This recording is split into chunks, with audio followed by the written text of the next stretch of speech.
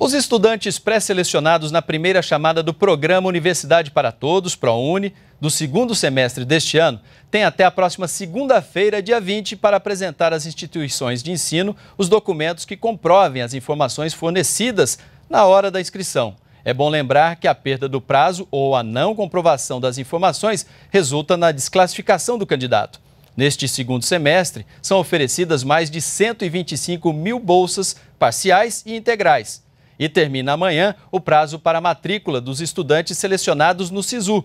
Foram ofertadas este ano mais de 56 mil vagas em 65 universidades federais e estaduais, além de institutos federais.